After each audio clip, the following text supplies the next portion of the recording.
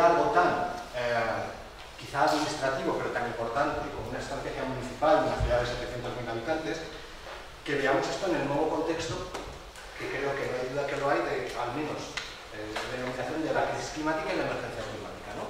Nosotros tenemos una estrategia de, de cambio climático y calidad. Bueno, eh, ¿qué es la ECAF? Pues es una estrategia de tres cosas. Es una estrategia de cambio climático, pero también de calidad del aire, esto tiene sus ventajas y sus inconvenientes, porque cambio climático y calidad del aire son temas bien distintos, aunque a veces son las dos caras de una misma moneda, o son, eh, son dos partes complementarias fundamentalmente de sus caras. Y en tercer lugar, hemos incorporado un tema que creemos que es clave, que es el de la salud. Es decir, en que en una estrategia de cambio climático y calidad del aire se incluya en el título la palabra salud, es toda una declaración de intenciones del marco conceptual en que queremos abordarlo. Eh, la estrategia ha tenido cierto recorrido ya a lo largo del tiempo, en el que incluso hemos llegado a hacer una, una pequeña firma de compromisos inicial, pero algo que suele ocurrir cuando hacemos una estrategia de agua es que pensamos que antes no se estaba haciendo nada, y eso no es así. En el Ayuntamiento de Zaragoza ya había un montón de acciones que tienen una incidencia directa sobre eh, la mitigación del cambio climático, sobre la adaptación del cambio climático. Hay un trabajo muy antiguo en calidad del aire, en el Ayuntamiento de Zaragoza es uno de los ayuntamientos pioneros que trabaja en calidad del aire, y ah, hay un montón de medidas, que hay veis algunas, desde los autobuses eléctricos e híbridos, eh, a la peatonalización, a la extensión de los kilómetros de carriles bici, a la gestión de las infraestructuras municipales desde el punto de vista de la energía lo más eficiente posible. Es decir, las estrategias no parten de cero. De hecho, nosotros teníamos dos estrategias ya un poco antiguas, que son las que ha habido que eh, remodelar. La estrategia de, para la mitigación del cambio climático y la mejora de la calidad del aire, es decir, en Zaragoza como ciudad se han tratado siempre los dos temas de manera conjunta, y también teníamos una estrategia de adaptación al cambio climático, que en 2010, pues bueno, era un tema interesante que no en todas partes, ahora, ahora ya solo hablamos de adaptación, pero en ese momento lo fue. Una de las cuestiones que quizá menos me gustan de nuestra nueva estrategia es que aunque tiene implícitamente aspectos de adaptación, lo ha perdido en el título. Y como sabemos que la adaptación es capital en estos momentos, pues bueno, los documentos, los procesos llevan a veces unas dinámicas en las que quedan cosas por el camino, ¿no? Y quizás es una de las cuestiones que, que menos me Para saber si los objetivos que queremos alcanzar en cambio climático eh, funcionan o no, son posibles o no, nos hemos basado siempre en los inventarios de emisiones. Es decir, hay unos inventarios detallados de emisiones, tanto de gases de efecto invernadero como también en materia de calidad del aire, porque os recuerdo que es doble, ¿no? Por ejemplo, aquí tenéis el último inventario de emisiones que se ha hecho en Zaragoza, el inventario de emisiones 2015, en el que pues, hay un análisis de CO2, pero también de monóxido, de partículas, de óxido de, de, azufre, de nitrógeno, de compuestos orgánicos volátiles, metagénicos, eh, de metano, etcétera, etcétera. Es decir, sin una radiografía de la situación de partida y de la que queremos llegar, no podemos hacer. Y os presento unos datos que igual también a veces eh, causan cierta, por su dimensión, presento los datos. Fijaos, en 2005, porque tenemos un inventario de emisiones 2005 y uno 2015 para poder comparar, esas, esas son las cifras que da de emisiones en la ciudad de Zaragoza. 3,38 toneladas de CO2 equivalente por habitante, es decir, una, es una cifra per cápita. Y ahí veis eh, el reparto por sectores, ¿no? con una industria que, que supone el 44, suponía eh, el 44% de las emisiones, eh, residencial el 24 y bueno, esas cifras que podéis ver ahí eh, desde lejos. Y en 2015 se hace el nuevo inventario, en el que se sustenta la nueva estrategia. Y fijaos que hay una reducción de las emisiones y se reduce en todos los sectores menos en dos. En el sector eh, industrial y en servicios, y ahora lo vemos aquí junto para que las podáis comparar, sí que hay un aumento. De tal manera que las cifras globales, y esto es importante para establecer los objetivos que se quieren alcanzar después, las emisiones per cápita en todos los sectores de la ciudad se reducen en un 7,7%. Si consideramos solo los sectores PAES, que sabéis que son los sectores de responsabilidad estrictamente municipal, ¿vale? Eh, que estaban en el pacto de alcaldes, movilidad, residencial, servicios públicos institucionales y gestión de residuos, si solo consideramos lo que es estrictamente de competencia y que depende del municipio, nos vamos a una reducción del 17,4 en emisiones totales y si consideramos las per cápita, como en este periodo de tiempo ha aumentado la población de Zaragoza, la reducción es del 23,9% de emisiones. Esto en el periodo entre 2005, un inventario de emisiones, y 2015. Con todo ese marco eh, de, datos de, de gases de efecto invernadero en la ciudad, se plantea hacer una estrategia con tres grandes metas, pero con tres objetivos concretos. Las metas son la lucha y la adaptación frente al cambio climático, la mejora de la calidad del aire, y aquí muy centrado también la salud, y se incorpora algo que no estaba en la anterior estrategia, que es la mejora en el uso más eficiente y una reducción en el uso de los recursos. Es decir, que tiene tres campos que se corresponden a unos objetivos cuantitativos, para que no sea un brindis al sol, los objetivos son la reducción del 40% de emisiones de CO2 en 2030, que es el horizonte temporal que se establece, después de pensarlo un poco, respecto al año 2005, la reducción del 50% de los residuos domésticos que van al océano y la reducción del 60% de la emisión de óxido de nitrógeno. Es decir, un objetivo para cambio climático, otro para eficiencia y reducción de recursos y otro para calidad del aire. Fijaos que es ignición. Ya sabéis que la ignición es la concentración de un contaminante después que se ha emitido, se ha dispersado, eso es lo que respiramos. Por tanto, hay un objetivo eh, cuantitativo exacto para cada una de las metas de la Eso tiene un impacto cuantificable en toneladas de CO2 que se quiere reducir, que lo, tenéis ahí. Es decir, se hace, eh, ya veréis algunos escenarios que hay y el objetivo es esos porcentajes que habéis visto en el caso de reducción de emisiones de CO2 se traducen en esa reducción de toneladas finales. El documento tiene, eh, tiene como una especie de marco conceptual que luego nos sirve para hacer el plan de acción. Os explico primero ese marco conceptual. Tiene cuatro grandes ejes de actuación. Uno es el diseño urbano, y dentro del diseño urbano se contemplan aspectos como la vivienda, la ciudad compacta, todos los aspectos de infraestructura verde de la ciudad, como sumidero y como eh, también eh, adaptación, eh, se contempla dentro de la ciudad las ayudas, la rehabilitación de edificios, la organización de los servicios para que sean más eficientes y se consuma menos energía, etc. Otro aspecto clave son los servicios municipales. Luego veréis que la estrategia se va a centrar sobre todo en los sectores PAES, por tanto, hacer unos servicios municipales eficientes, con alumbrado eficiente, contratación pública sostenible, etcétera, etcétera, es capital. Otro de los ejes de actuación es la movilidad sostenible, como puede ser de otra manera, entonces es un apartado eh, muy grande que se coordina con los planes de movilidad, como veremos, y por último, se tiene en cuenta también la industria de otros sectores, pero que es un sector sobre el que podemos incidir poco desde el municipio o, no todo lo que queremos. Esos son los ejes. Y luego también se consideran cuatro grandes ámbitos de recursos. Todo esto sirve para componer luego las futuras acciones. Uno, los recursos clave que se consideran en la, en son las energías renovables, la alimentación sostenible, que sabéis que en Zaragoza es un punto clave, la gestión sostenible del agua y el aprovechamiento y minimización de los residuos para convertirlos en residuos. Y tiene dos herramientas transversales. Una es la mejora de la salud frente al cambio climático y la calidad del aire, el impacto que tiene en salud, de tal manera que desarrolla ese tema bastante ampliamente, y otro tema mm, transversal es la comunicación, la educación y la participación.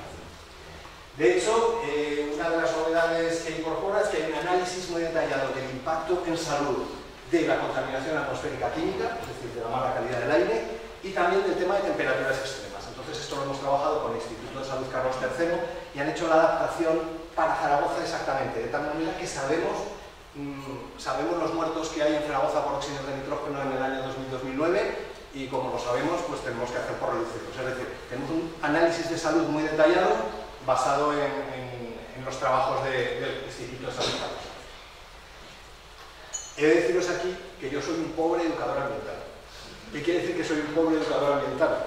Que yo no soy eh, el técnico que lleva, la técnica que lleva la, estrategia de cambio climático. Yo os lo vengo a contar hoy, pero evidentemente un aspecto, un tema como este es tremendamente técnico de cara a establecer los flujos energéticos que hay en Zaragoza y las emisiones que hay.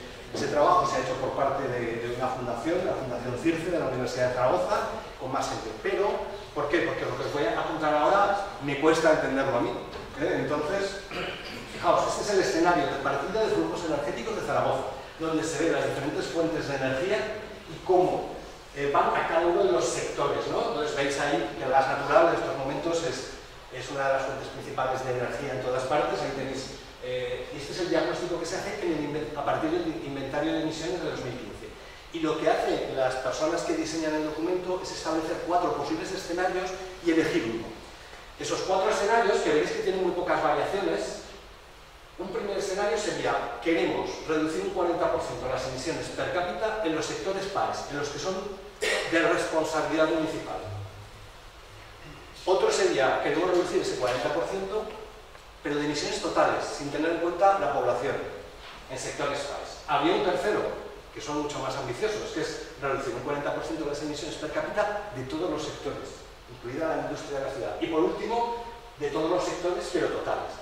Es decir, que se estudian cuatro escenarios y se decide al final actuar en este. Es decir, todos los objetivos que vais a ver se refieren a la reducción del 40% de las emisiones totales, no per cápita, en los sectores país. De tal manera que con este panorama se alcanzan esas reducciones. Es decir, se ha hecho un cálculo y eh, a mí esto me daría para muchas preguntas, pero no las voy a hacer yo. Os dejo que lo, lo veáis. Penséis que este es el horizonte para 2030 que nos permite reducir las emisiones de la ciudad de Zaragoza en un 40% en todos los sectores, en, perdón, los sectores PAES, eh, emisiones totales, no per cápita. Yo creo que, bueno, pues es un, ser, hay claramente algo que sigue teniendo mucho peso para el 2030 y sin embargo con esto se alcanzarían los objetivos. Bueno, esta es una realidad. Eh, ahí tenéis una gráfica que dice que según el status quo actual, como le gusta a Turiel que llamamos el BAO, business as usual, eh, se iba a reducir ya un 33%, según que inició el informe, las emisiones en sectores PAES. Por tanto, la ECA tiene que hacer un esfuerzo adicional hasta el 40%. Después de todo eso, el, de un diagnóstico, mm, que aquí no os cuento, pero que podéis encontrar en el documento, por cierto, os he dejado fuera unos folletos para que podáis coger, que explica más acá, se plantean 40 medidas concretas. Las, el otro día me entretuve en ponerlas aquí, y ya sé que no se ven nada, porque dije, es que 40 medidas son muchas medidas. Entonces dije, me las voy a poner como, como tarea aquí en la diapositiva. Entonces, el Ayuntamiento de Zaragoza tiene que poner en marcha esas 40 medidas para alcanzar los objetivos que os he contado. Y hay que cumplirlas todas. Vamos a ver cómo son esas medidas. Aparte de que las hemos relacionado todas con los objetivos de desarrollo sostenible, en la Agenda 2030, cosa que creemos que es imprescindible y que el sistema de indicadores de la ciudad deberían incluirse, todavía no lo tenemos, los indicadores que utiliza la Agenda 2030, en eso se está trabajando. Hay una serie de medidas por temas y ahora es donde encontramos de nuevo a eh, los ejes de actuación y los recursos de antes. Relativa al diseño urbano hay seis acciones, relativa a los servicios municipales hay otras seis acciones, de movilidad sostenible hay cuatro acciones, en industria cuatro, en energía renovable siete, en agua dos, que van más enfocadas a adaptación también, en recursos 7 y en comunicación 4. No hay medidas específicas de salud, porque van implícitas en algunas de ellas. Y cada medida tiene este desarrollo previsto. Por ejemplo, la de la izquierda, la 10, es la elaboración de un protocolo de actuación, esto en Valladolid sabéis mucho más que nosotros, para episodios de, alta contaminación por óxidos de nitrógeno. Esta acción ya está casi acabada, es decir, de las 40 acciones, hay acciones que ya se han puesto en marcha y el protocolo está redactado, falta, bueno, falta darle una vuelta final, pero esta medida ya está. Pero sin embargo aquí tenéis una de energías renovables que la vamos a ver un poquito más, ¿no? Porque cada medida dice, primero, a qué metas se refiere de las que habíamos visto antes.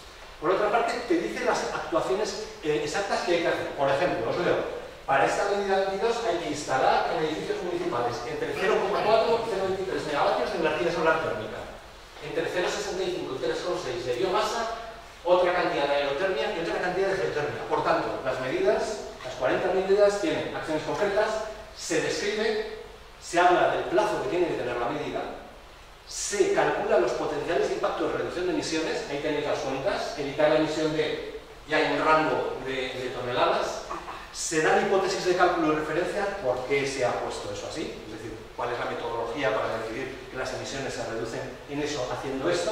Y por último hay unos indicadores de seguimiento, de tal manera que las 40 medidas tienen esta descripción. Esta es muy concreta, pero por ejemplo hay algunas que son más genéricas, hay algunas de comunicación y educación que no bajan tanto y establecen solamente marcos generales.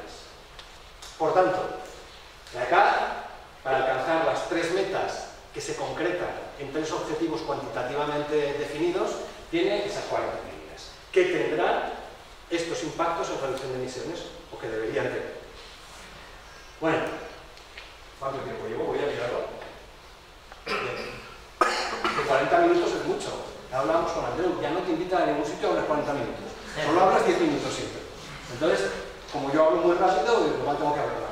Bueno, eh, ¿cuántas de las personas de aquí han estado en algún proceso participativo de una estrategia, de un plan? Podéis levantar la mano, yo estado mucho, levanto la mano.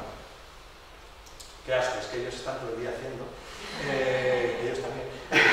bueno, muchas de las personas que estamos aquí hemos estado, hemos participado de procesos participativos, valga la redundancia, sobre planes, estrategias, eh, etcétera, etcétera. ¿no? Es decir, bastante de las gentes de aquí. Entonces, yo lo que quería hacer es, pues como además soy de la educación ambiental, que como me preguntéis algo de los diagramas, esos reflujos, no sé si os voy a saber contestar, quería contaros un poco el proceso participativo en torno al documento de la ECAF 3.0. La ECAD es la antigua, el, por qué la llamamos ECAD 3.0 pues ya lo suponéis, porque 3.0 parece 30 y, bueno, que hubo ahí una discusión de naming, ¿no? que le llaman los de naming y no le quisimos cambiar el nombre, teníamos muchas alternativas, pero hacemos ECAD, pero 3.0, que parece que es como muy digital, no, nos atrevimos al 4.0, eso ya sobrarse, y el 3.0 era como el 2030, ¿no? que y además como cambio climático y calidad del aire tiene muchas T's, ese 3 es como casi elevado al cubo, bueno, entonces...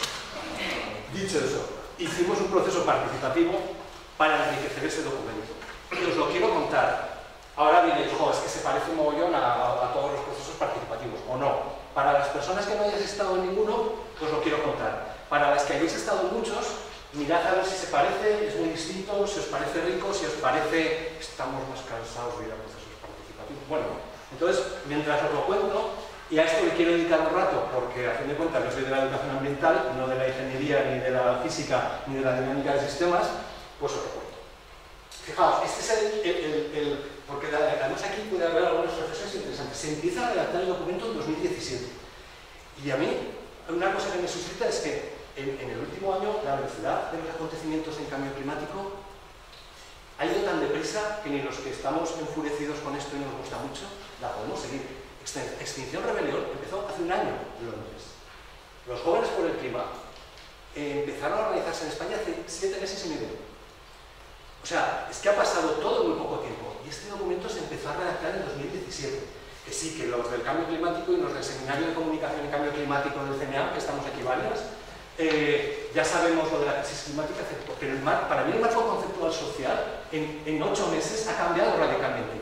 Y sin embargo, y documentos así llevan procesos lentos por los propios procesos administrativos, por los propios procesos participativos, porque a veces se detienen las estrategias y quedan hibernadas. Entonces, para mí uno de los problemas fundamentales es que todo va muy deprisa y esto nuestro no ha ido tan deprisa. Con hecho esa, ese contexto, vamos a verlo. Fijaos, durante 2017 se redacta un documento inicio y lo presentamos a un órgano de participación de la ciudad. Somos un ayuntamiento, nos debemos a los órganos de participación que tenemos en el ayuntamiento. En este caso, el Consejo Sectorial de la Agenda 21 Local. Es un órgano de participación muy importante, aunque muy importante conceptualmente, aunque luego se reúne cada mucho, tiene poco poder de, cambiar cosas, pero es necesario pasar por ahí. Presentamos el documento a todos los agentes sociales. Como no nos pareció suficiente, decidimos hacer pues, un mes después una presentación pública del documento es decir, mientras que al Consejo Sectorial solo van las entidades invitadas, etcétera, etcétera, dijimos, vamos a presentar ese documento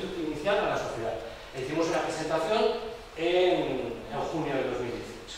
Después de eso, y ahora os lo contaré, pero para que tengáis el, el horizonte temporal completo, hicimos un proceso participativo durante dos meses hicimos el retorno de ese proceso participativo en otro consejo sectorial de la Agenda 21 local con todo lo que nos aportaron las personas, redactamos un documento nuevo. Eso lo vamos a volver a ver, pero lo presento así, que también nos llevó un rato, porque una aportación luego tú la tienes ahí en formato ficha, pero luego tiene que ir en un libro, en un documento que fluya. Entonces hay que volver a hacerlo. Y se aprueba el 26 de abril de 2019, poco antes de unas elecciones, en las que luego hay un cambio de gobierno. De tal manera que gobiernos antiguos y gobiernos nuevos tienen que ver qué hacen con, todo el trabajo.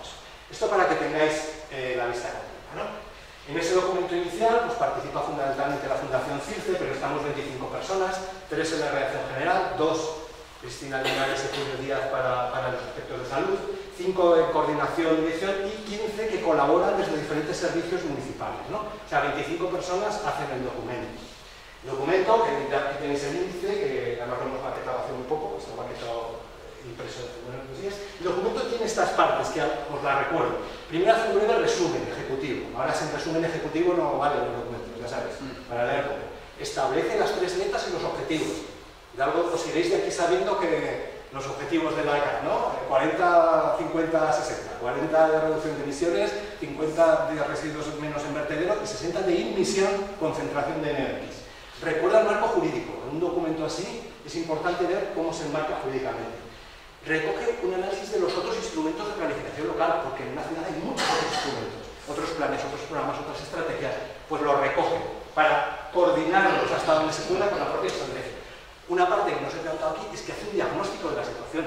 Es decir, sabemos cómo han evolucionado los óxidos de nitrógeno en la ciudad, sabemos cómo han evolucionado las concentraciones, las emisiones de CO2 en la ciudad. Es decir, una parte importante de diagnóstico. Establece el marco temporal, que hemos dicho que es 2030, modeliza los escenarios energéticos, esos que yo no entiendo mucho, ¿eh? ya sabéis cuáles, hace un estudio de impacto en salud bastante importante, muy detallado, plantea aspectos marcos de comunicación y diseña el plan de acción con 40 acciones. ¿vale? Ese es el documento de las 200 y pico Para llegar a ese documento hacemos un proceso participativo. Como os he dicho, tras el Consejo Sectorial de la Agenda 21 local, hacemos un acto público.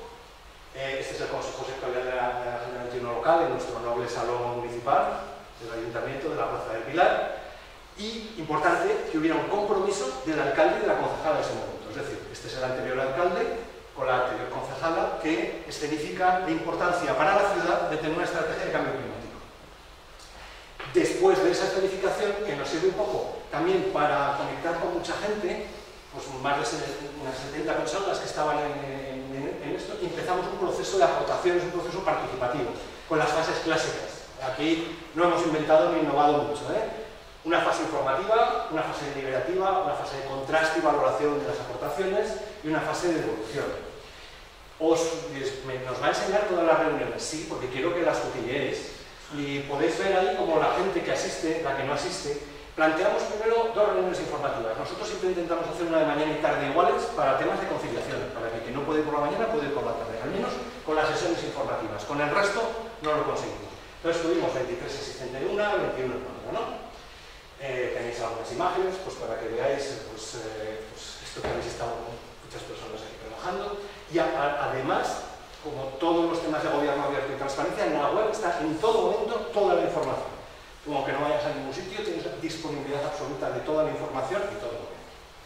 Y después de la fase informativa en la que explicas qué es la estrategia, cómo va a ser el proceso, mm, cuáles son los objetivos, cómo los queremos alcanzar, con qué interlocutores sociales queremos hablar, planteamos una fase deliberativa en la que hacemos dos talleres dobles, en realidad cuatro talleres. Es decir, hay que ventilarse de revisar todo el documento en cuatro reuniones.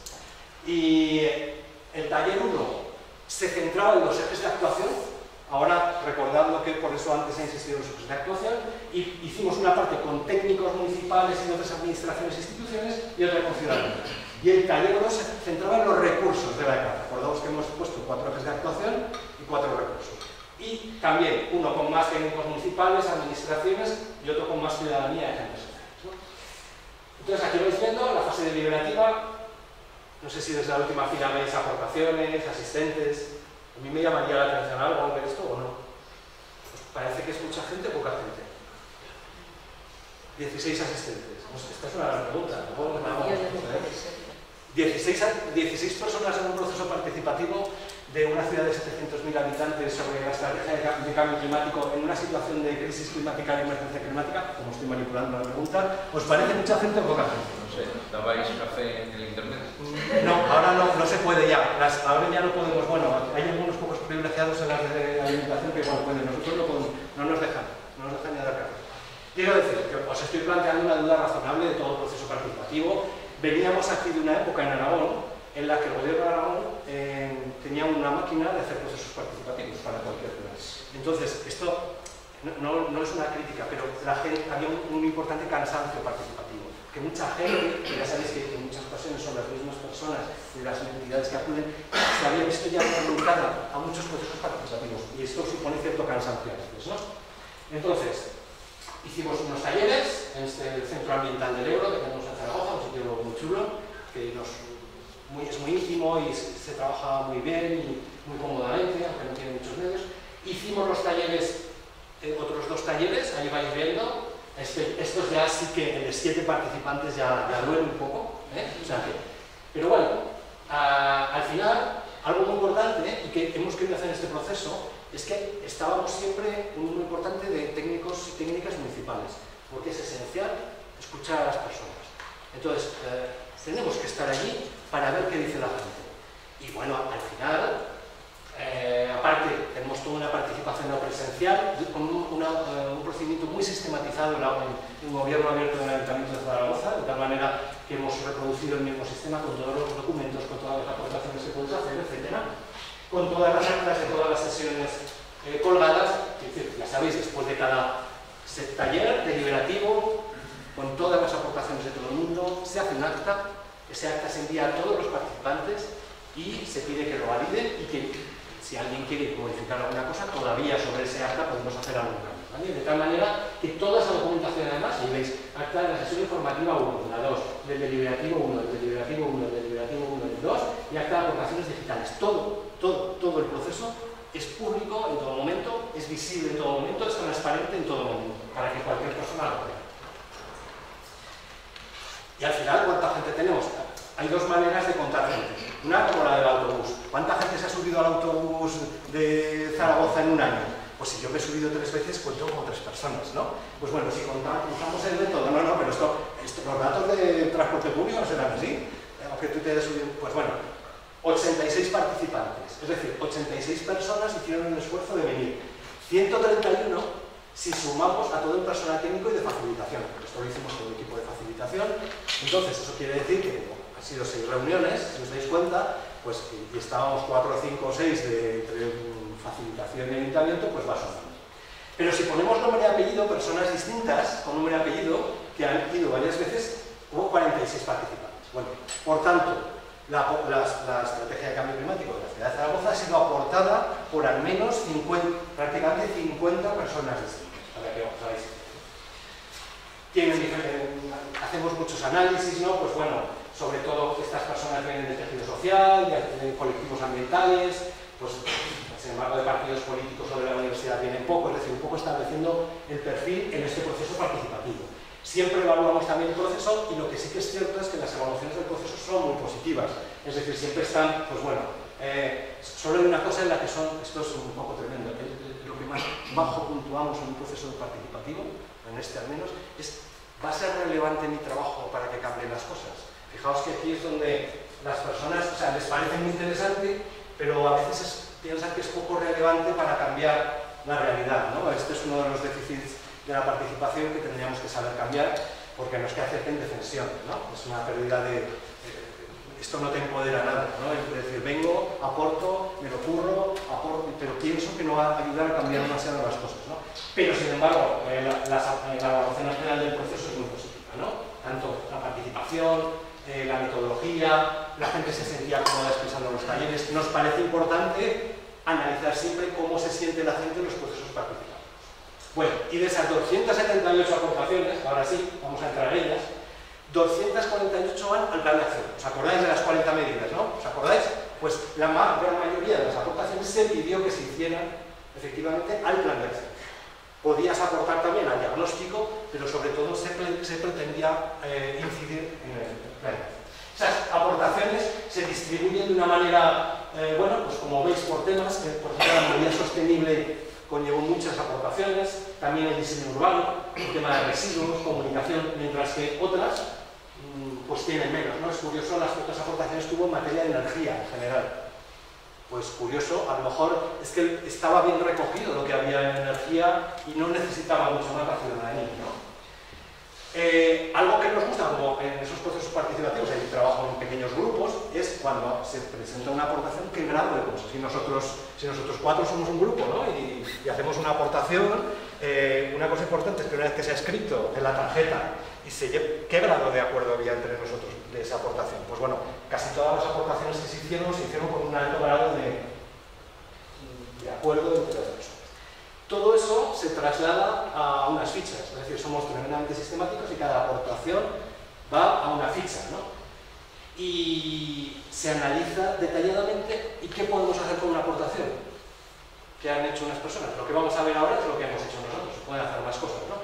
Y vamos a, ver, a caracterizar cada una de las acciones que hacemos con la. Hay aportaciones que son totalmente incorporadas.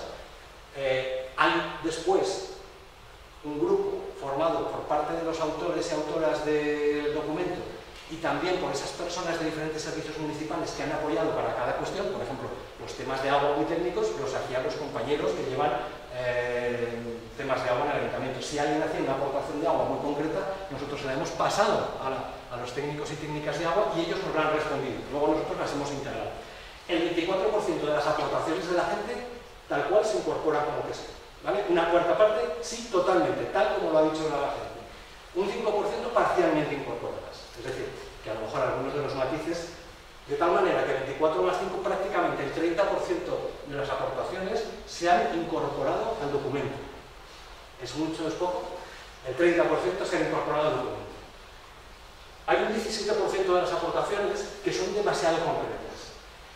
Un documento estratégico eh, tiene que ser concreto también, pero, por ejemplo, en sus objetivos, pero puede ser que, mm, te pidan que, pues bueno, no lo sé, pues que, no sé, ponernos un ejemplo, ¿no? algo muy concreto, pues que en mi calle planten más árboles. Pues que en mi calle planten más árboles es demasiado concreto como para incorporar una estrategia. A lo mejor otras cuestiones más amplias no, pero es así. Una parte de las cuestiones que se plantean ya están en otros planes municipales pero muy claramente definidas. Por ejemplo, en el momento de, la, de hacer la ETA teníamos un plan de movilidad urbana sostenible muy avanzado en Zaragoza, que ahora ha quedado un poco parado, pero estaba muy avanzado. Si, esas, si las medidas estaban claramente incluidas en otra estrategia, o por ejemplo en la estrategia de impulso del consumo responsable, si había un tema de consumo que tenía una acción muy específica en la estrategia de consumo responsable, como nosotros las coordinábamos, no lo incorporábamos. Este es el caso también de, de, cosas que ya están incluidas en el documento. A veces vamos a hacer participativos eh, ¿Y qué hacemos? Que decimos cosas que ya están en el documento porque no nos da tiempo de leernos los documentos cuando vamos a los procesos participativos. O algunas ya se están ejecutando. Otras son simples aportaciones. Y sí, eh, o sea, algunas son, perdón, eh, simples peticiones de aclaración. Y un 15% no son incorporadas porque exceden las competencias municipales, porque son muy complejas técnicamente o porque no se alinean con las políticas municipales. Bueno, esto es parte del equipo cada ficha, las fichas de las aportaciones, también ponemos un Excel con todo para que la gente pueda hacer búsquedas por temas, todo eso queda colgado en la web, y la sesión de retorno la hicimos en otro consejo sectorial de la Generalitat Local. Ahí tenéis un resumen de todas las aportaciones, donde veis que si en su totalidad o parcialmente son el 29 y las demás lo que os he estado contando. En paralelo hubo un proceso con la Cámara de Comercio para que las industrias zaragozanas aportaran pero no funcionó. Se dejó en manos de cámara y las empresas no se consiguió motivar a las empresas, no es culpa de las empresas, siempre es culpa nuestra, de que no lo hacemos bien. Eh, no se consiguió motivar a las empresas y no obtuvo aportaciones. Eh, esto es el equipo facilitador y un poco el equipo de personas que estaban, de tal manera que llegamos a, después a la aprobación por un acuerdo de gobierno el 26 de abril tenemos el documento en el que hemos incorporado todas esas aportaciones y os hago la pregunta final, y acabo con un minuto, y es que, como otras ciudades, Zaragoza está inmersa en un proceso un poco confuso en este momento de declaración de emergencia climática. ¿Qué hay que hacer cuando tienes un documento que nació en el 17 y todo esto ha cambiado tanto en este tiempo? Se, algunos partidos políticos hicieron una moción para declarar la emergencia climática, fue votada de una determinada manera, en principio queda aprobada, porque son votos a favor frente a abstenciones. Una segunda moción para declararla menos de un mes y en ese momento estamos. Y hago la pregunta de si tenemos una estrategia recién acabada, pero el contexto ha cambiado mucho, ¿qué tenemos que hacer? ¿Tenemos que cambiar los objetivos? ¿Tenemos que adecuarlos? Eh, os dejo esa. Y nada, muchas gracias.